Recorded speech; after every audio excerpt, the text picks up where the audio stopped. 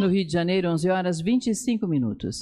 Está entrando no ar. Grande Jornal Rio Notícias. Jornalismo de credibilidade com o padrão Rio de qualidade.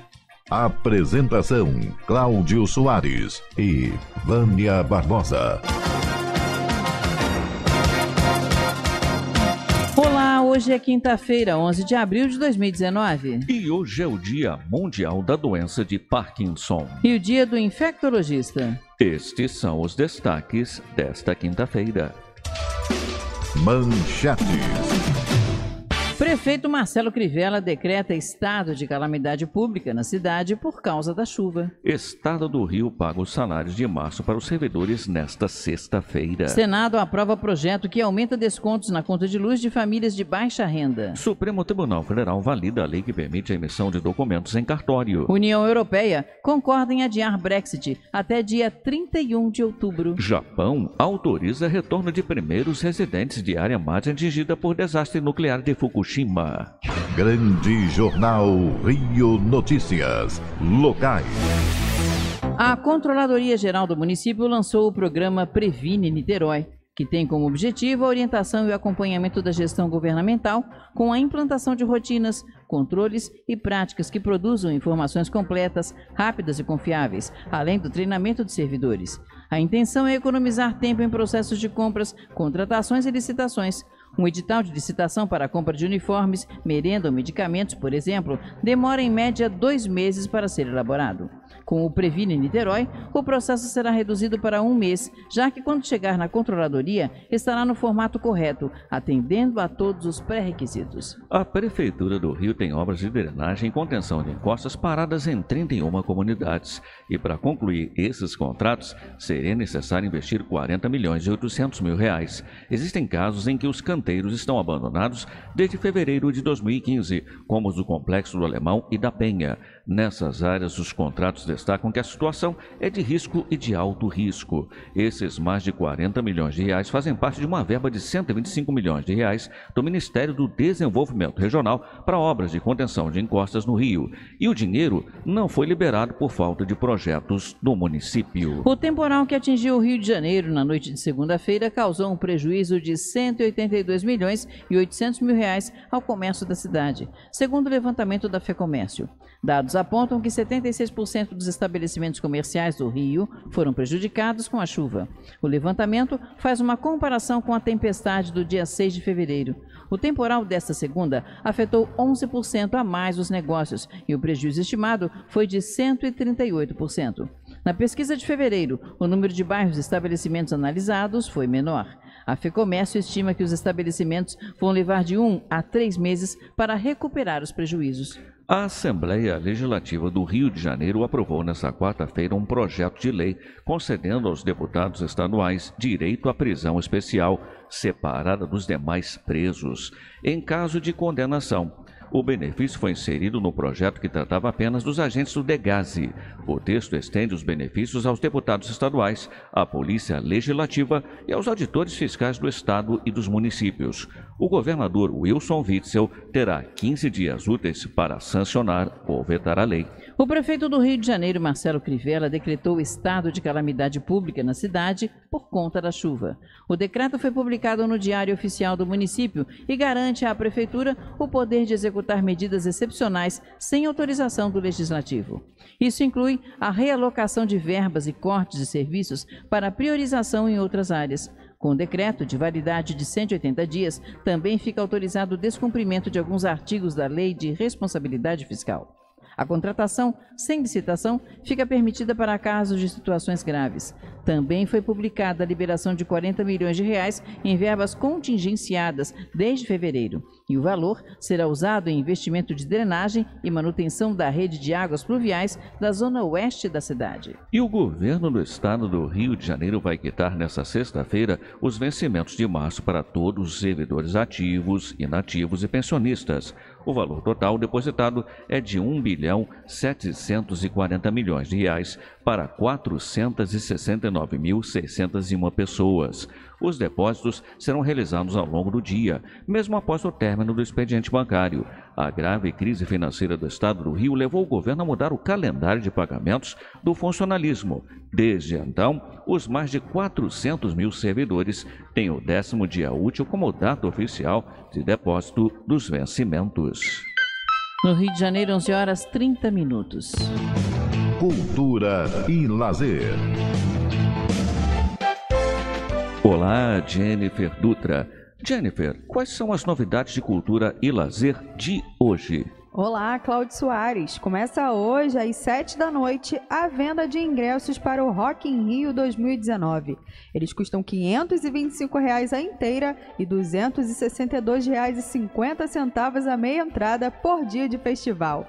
Para comprar, acesse www.rockinrio.ingresso.com o Rock in Rio será nos dias 27, 28 e 29 de setembro e 3, 4, 5 e 6 de outubro, no Parque Olímpico, na zona oeste do Rio. Este ano o evento está ainda maior e terá mais 60 mil metros quadrados de área útil para o público. Serão 12 horas de festival por dia. Para conferir a programação, acesse o site oficial do Rock in Rio e 66 filmes serão exibidos no festival É Tudo Verdade, que acontece até o dia 14 de abril aqui no Rio de Janeiro. Os ingressos podem ser retirados gratuitamente uma hora antes de cada sessão.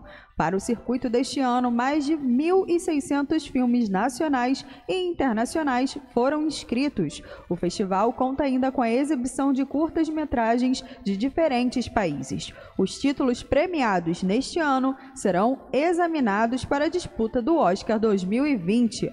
O evento está acontecendo no Instituto Moreira Salles e na estação NET Botafogo. E o Dia do Índio é celebrado no dia 19 de abril, mas o Teatro Armando Gonzaga, em Marechal Hermes, adiantou a comemoração para este fim de semana. No próximo dia 13, estreia a peça infantil O Índio na Cidade, a partir das 4 da tarde. A peça narra as diferenças das tradições indígenas em comparação com as da cidade grande. Os ingressos custam 30 reais a inteira e 15 reais a meia entrada. Aproveite! E está em cartaz no Museu Janete Costa de Arte Popular a exposição Piauí entre Anjos e Palmeiras. A mostra celebra o estado do Piauí, sua cultura, sua arte e sua gente, fazendo também uma homenagem à capital Teresina e ao poeta Torquato Neto. Os trabalhos trazem a representação de anjos, seres alados que despertam a vontade de voar mais alto, sem amarras e com total liberdade. A exposição pode ser vista até o dia dia 5 de agosto, de terça-feira a domingo, das 10 da manhã às 6 da tarde. A entrada é gratuita. O Museu Janete Costa fica na rua Presidente Domiciano, número 178, em Boa Viagem, Niterói. E essas foram as dicas de cultura e lazer de hoje. Eu volto logo após o Noticiário Nacional com as novidades de ciência e tecnologia. Até daqui a pouquinho, Jennifer Dutra. Até daqui a pouco. Previsão do tempo. Rio e Niterói tem céu claro, a umidade relativa no ar é de 74%. Para amanhã, a previsão é de céu claro e agora na Ilha do Governador, 29 graus. Grande Jornal Rio Notícias Nacionais. O presidente Jair Bolsonaro comanda nesta quinta-feira, no Palácio do Planalto, uma solenidade para marcar os 100 primeiros dias de governo. O evento conta com a presença de ministros, diversas autoridades e parlamentares. Segundo o presidente, o governo conseguiu cumprir nesses pouco mais de três meses cerca de 95% das metas estabelecidas para o período. O detalhamento está sendo apresentado na cerimônia, assim como novos anúncios. Dois dos projetos mais importantes entregues no período são representativos das bandeiras anunciadas pelo governo ainda durante o período de transição a proposta da reforma da Previdência e o pacote anticrime. As duas medidas, no entanto, precisam ser aprovadas pelo Congresso Nacional. A quinta vara federal em Brasília proibiu a retirada de radares de velocidade das rodovias federais de todo o país. A decisão foi motivada por um pedido liminar feito pelo senador Fabiano Contarato, mas não é definitiva e cabe recurso. Na decisão, a juíza Diana Vanderlei também determinou que seja feita a renovação dos contratos do Programa Nacional de Controle Eletrônico de Velocidade por mais 60 dias. Na última semana, o Ministério da Infraestrutura informou que a instalação de novos sensores foi suspensa para que seja feita uma análise rigorosa do plano de instalação que foi realizado no governo anterior. E de acordo com a pasta, o atual contrato poderia chegar ao custo de um bilhão de reais em cinco anos. O ministro do Meio Ambiente, Ricardo Salles, defendeu que a multa aplicada à mineradora Vale pelo rompimento da barragem de rejeitos em Brumadinho seja usada como investimentos em parques nacionais de Minas Gerais. A ideia, segundo o ministro, é que os 250 milhões de reais sejam revertidos de forma imediata em benefícios para o Estado. Ao participar de audiência pública conjunta promovida pelas comissões de Meio Ambiente, Desenvolvimento Sustentável e de Integração Nacional, Desenvolvimento Regional e da Amazônia, da Câmara dos Deputados, Salles disse que a solução que está sendo negociada visa evitar adiamentos na aplicação dos recursos da multa. A Advocacia Geral da União decidiu aumentar os descontos oferecidos às empresas em acordos relacionados às chamadas ações regressivas previdenciárias, que são processos em que a União cobra das empresas o ressarcimento de despesas causadas por acidentes de trabalho. Com a nova regulamentação do assunto, o governo quer acelerar a entrada dos valores nos cofres do Instituto Nacional do Seguro Social. Outra novidade é que as empresas agora podem fazer acordos com a AGU, antes mesmo de a questão ir parar na justiça, possibilidade que não existia. As novas regras que substituem uma portaria de 2011 já estão valendo. O Senado aprovou nesta quarta-feira um projeto que muda as faixas de consumo e percentuais de desconto aplicados aos beneficiários da tarifa social de energia elétrica, com a intenção de ampliar o número de assistidos.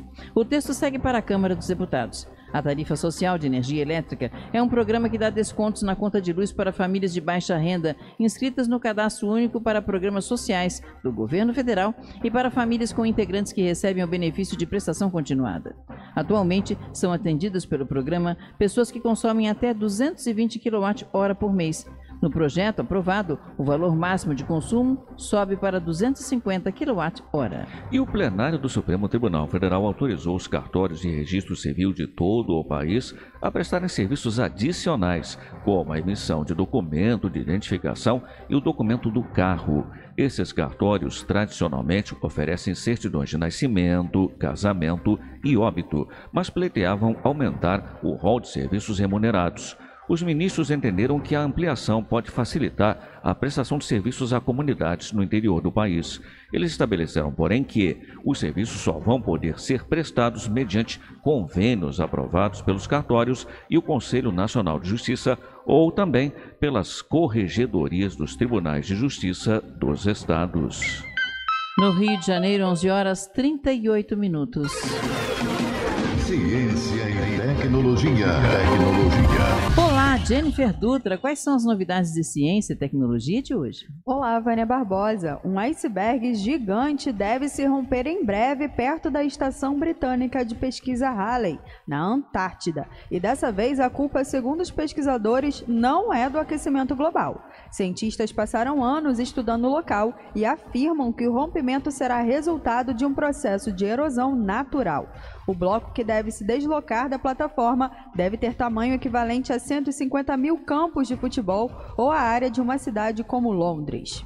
E a concentração de dióxido de carbono, principal responsável pelo aquecimento global, atingiu o nível mais alto dos últimos 3 milhões de anos. O alerta foi feito por cientistas do Instituto de Pesquisa Potsdam para o Impacto Climático na Alemanha.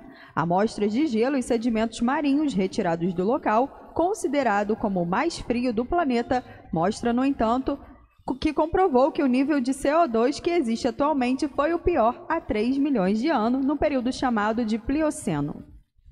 E a Amazon anunciou que está disponibilizando ferramentas para que desenvolvedores possam criar aplicações em português para Alexa, que já está em testes no país. Chamado de Alexa Skills Kit, o conjunto de ferramentas vai permitir a criação de programas que funcionem junto da Alexa para perguntas e respostas sobre um tema, por exemplo.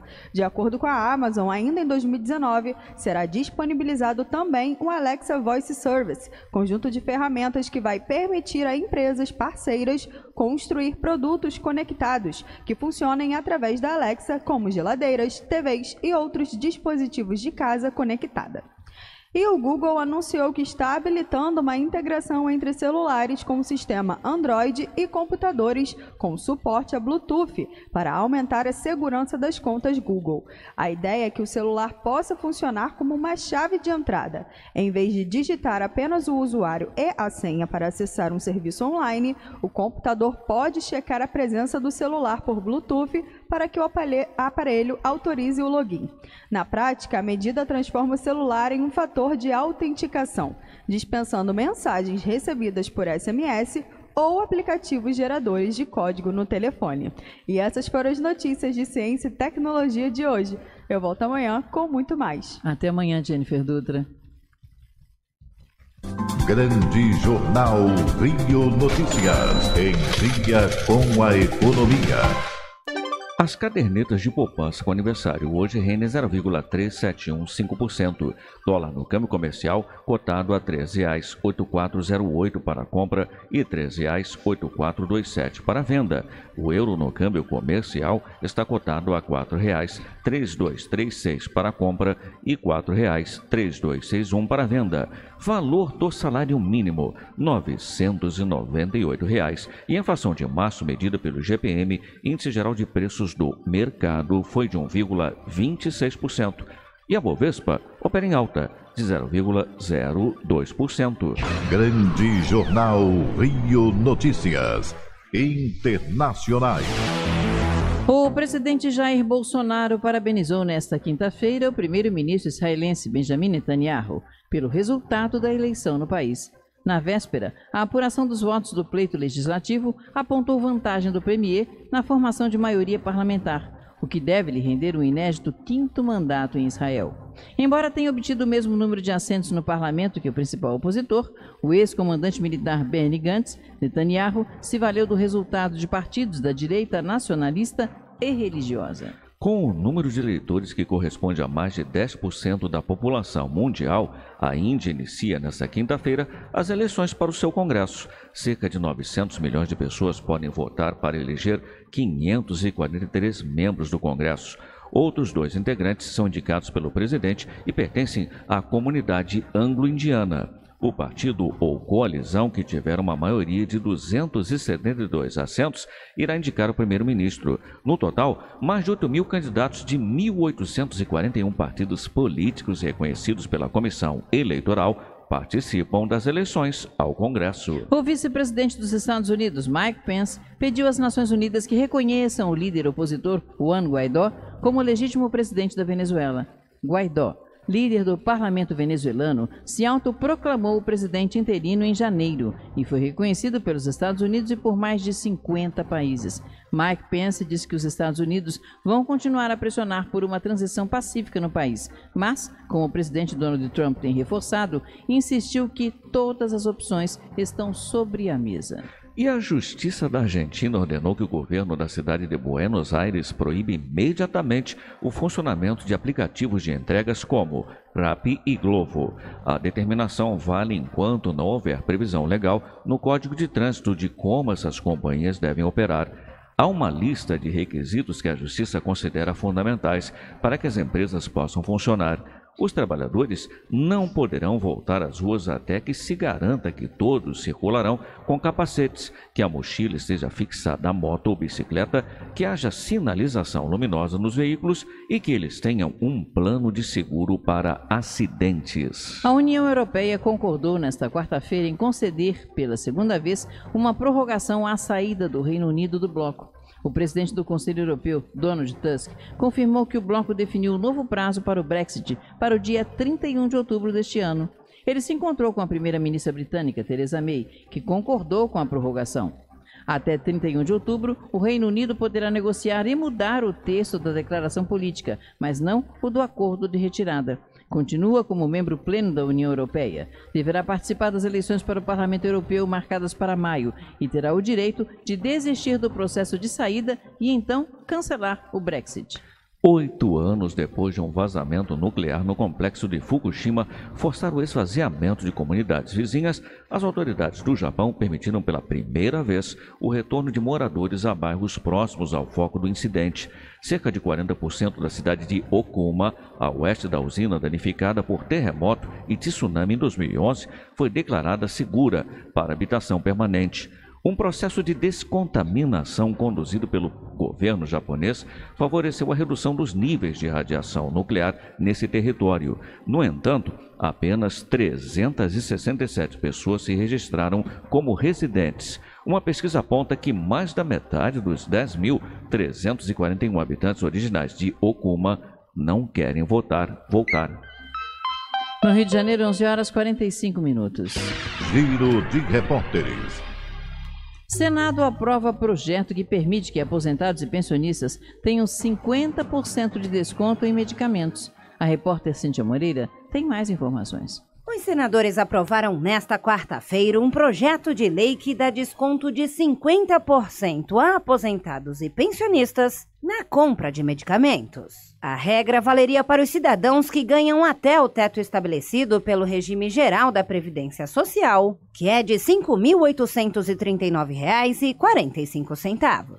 O projeto, que foi aprovado na Comissão de Assuntos Sociais, segue agora para a Câmara dos Deputados. Desde 2004, o programa Farmácia Popular já garante à população de todo o país medicamentos de graça ou com descontos de até 90%. Os remédios para hipertensão, diabetes e asma são fornecidos gratuitamente. Já os anticoncepcionais, fraldas geriátricas e remédios para colesterol são subsidiados pelo governo. O programa, que está presente em mais de 80% dos municípios, beneficia cerca de 43 milhões de pessoas. Segundo o senador Paulo Paim, o projeto surgiu de uma demanda de aposentados e pensionistas do Rio Grande do Sul, que se somaram a outros em nível nacional. Para o autor da proposta, uma lei como essa é de extrema importância, já que os gastos dos aposentados com medicamentos são muito altos. É fundamental, porque hoje é inegável, na verdade, nesse país, 80% dos aposentados ganham até dois salários mínimos. Consequentemente, o salário deles acaba indo praticamente em remédios, alimentos, inclusive pagando aluguel. É uma forma deles terem condição de comprar os remédios que são vitais para a vida deles pelo um preço um pouco mais acessível. De acordo com a relatora, a senadora Maílza Gomes, a medida é justa e necessária e vai trazer melhor qualidade de vida para essa parcela da população. Visa melhoria qualidade de vida para o aposentado, né, que já ganha tão pouco, um salário mínimo e ainda precisa manter sua medicação que está custando aí metade do seu salário. Se o projeto de lei do Senado for aprovado pelos deputados, a legislação passa a valer em 180 dias após sua publicação no Diário Oficial da União. Reportagem Cíntia Moreira. Campanha contra a gripe tem meta de vacinar 58 milhões de pessoas. Mais informações com o repórter Janari Damascena. Começou nesta quarta-feira, 10 de maio, a campanha nacional de vacinação contra a influenza em todo o país. A meta do Ministério da Saúde é vacinar mais de 58 milhões de pessoas até o dia 31 de maio. Até o dia 18 de abril, a prioridade são gestantes e crianças menores de 5 anos e 11 meses. A vacinação protege a população com maior risco de ficar doente ou de ter as consequências mais graves, que pode inclusive levar à morte. No lançamento oficial da campanha em Porto Alegre, no Rio Grande do Sul, o ministro da Saúde, Luiz Henrique Mandetta, falou da responsabilidade de todos para aumentar as coberturas vacinais no país, principalmente das crianças. As crianças têm direito de serem vacinadas. Ela não consegue ir sozinha aos dois anos, três anos, quatro anos, cinco anos a uma unidade de saúde é responsabilidade dos pais ou responsáveis. Quem são os responsáveis? São todos, os conselhos tutelares, os vizinhos, as tias, as madrinhas, os que querem bem uma criança, professores, agentes de estudo. Ajude a infância é um período fundamental da vida da gente. A partir do dia 22 de abril, a vacina contra a gripe estará disponível nos postos de vacinação para todo o público-alvo da campanha: pessoas com 60 anos ou mais, trabalhadores da saúde, povos indígenas, população privada de liberdade, funcionários do sistema prisional, pessoas com doenças crônicas ou com outras condições clínicas especiais, além dos professores da rede pública ou privada. Reportagem Janari Damascena. 51% dos brasileiros são contra a proposta da reforma da Previdência. E o repórter Paulo Henrique Gomes tem mais detalhes. A reforma da Previdência apresentada pelo governo federal é rejeitada por 51% dos brasileiros. Os dados fazem parte de uma pesquisa Datafolha divulgada nesta quarta-feira. 41% dos entrevistados se mostraram favoráveis à proposta, 2% se dizem indiferentes e 7% não souberam responder. Entre as mulheres, a maioria é contrária à reforma. 56% das mulheres se posicionaram contra e 34% se mostraram favoráveis. Entre os homens, a maioria é a favor da proposta. 48% disseram ser a favor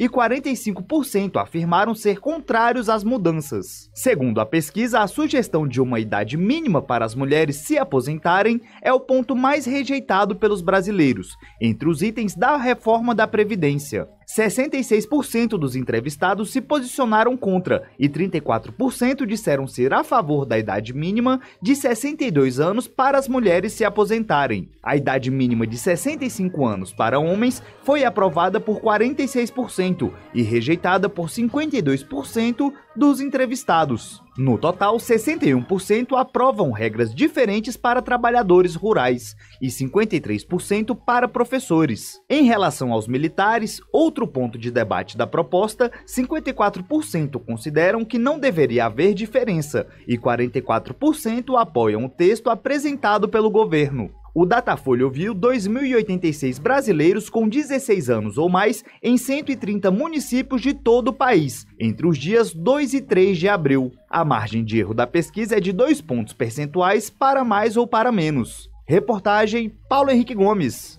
Adesão automática ao cadastro positivo começa a valer em julho. Mais detalhes com a repórter Juliana Gonçalves. O presidente Jair Bolsonaro sancionou sem vetos a nova norma para o cadastro positivo. A lei, que altera as regras para a inclusão de consumidores, existe desde 2011. O cadastro positivo é um banco de dados com informações sobre o histórico de crédito dos consumidores, com boas pontuações para quem mantém as contas em dia. A legislação anterior previa que a inclusão do nome dos bons pagadores no cadastro só poderia ser feita com autorização expressa e assinada do cadastrado. Agora, com a nova lei, os dados de consumidores e empresas são inclusos automaticamente no cadastro. O presidente da Associação Nacional dos Birôs de Crédito, Elias Sfer, acredita que essa lei vai gerar benefícios para toda a população brasileira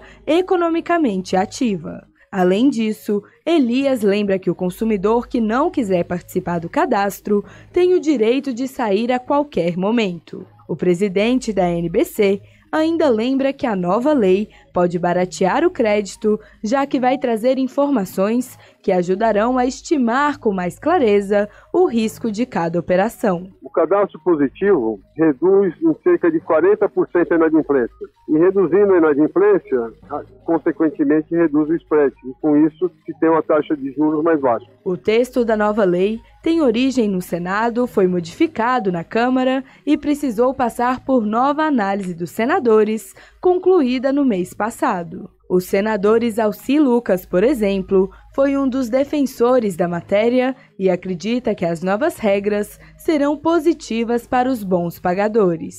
A gente precisa prestigiar também aqueles adimplentes, né? Porque hoje você tem toda uma política de inadimplência e que você dá um destaque muito grande na cobrança. Você nunca privilegia os bons pagadores. Então, o cadastro positivo ele vai fazer, pelo menos é o que a gente espera, né, que haja uma preferência grande, a redução das taxas de juros no spread do banco. Porque o cadastro positivo é, são aquelas pessoas que pagam as suas contas em dia, que não têm risco, portanto, o juro está muito relacionado ao risco do pagamento. Então, quando você não tem garantia, quando você tem é, vulnerabilidade. Não, o cara coloca o juro alto, né? Porque não sabe qual é a, a questão do risco. A nova lei do cadastro positivo foi publicada nesta terça-feira no Diário Oficial da União e entrará em vigor em três meses. Reportagem Juliana Gonçalves.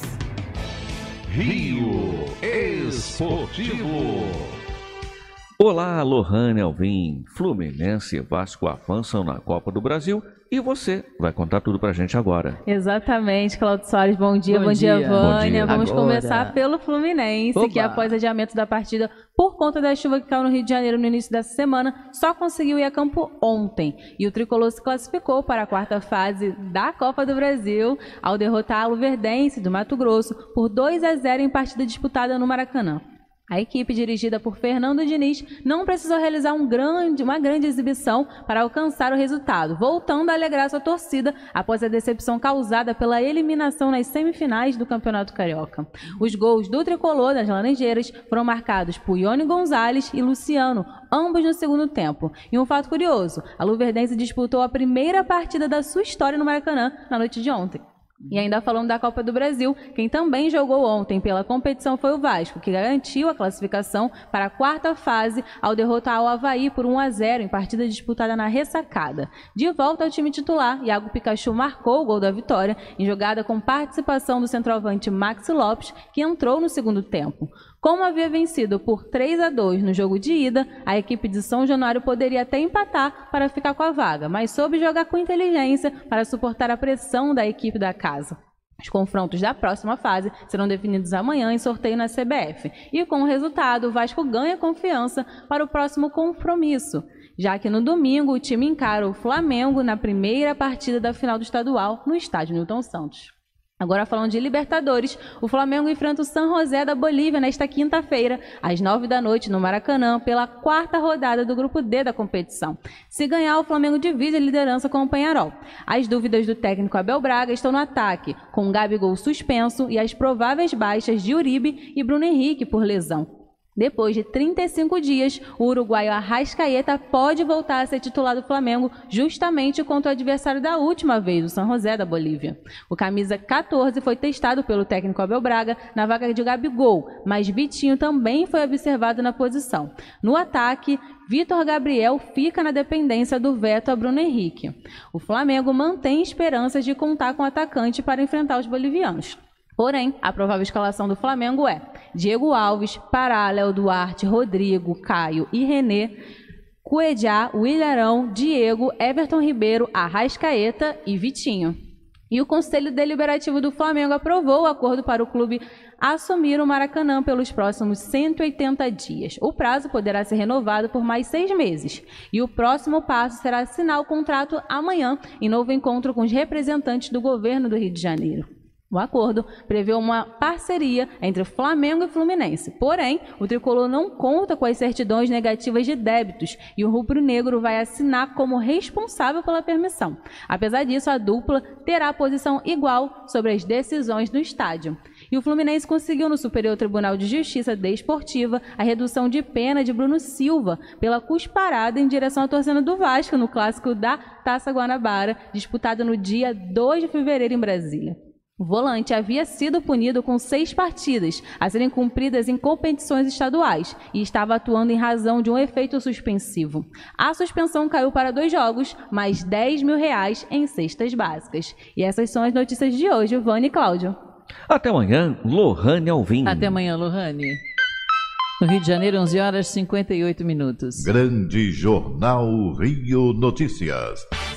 E estes foram os destaques de hoje. Prefeito Marcelo Crivella decreta estado de calamidade pública na cidade por causa da chuva. Estado do Rio paga os salários de março para os servidores nesta sexta-feira. Senado aprova projeto que aumenta Descontos na conta de luz de famílias de baixa renda. Supremo Tribunal Federal valida a lei que permite a emissão de documentos em cartório. União Europeia concorda em adiar Brexit até o dia 31 de outubro. Japão autoriza retorno de primeiros residentes de área mais atingida por desastre nuclear de Fukushima. Grande Jornal Rio Notícias.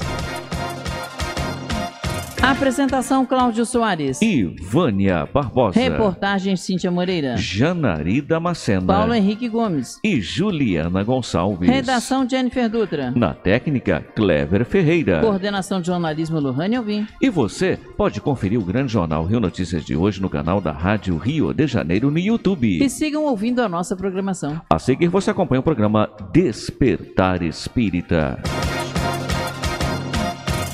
Grande Jornal Rio Notícias.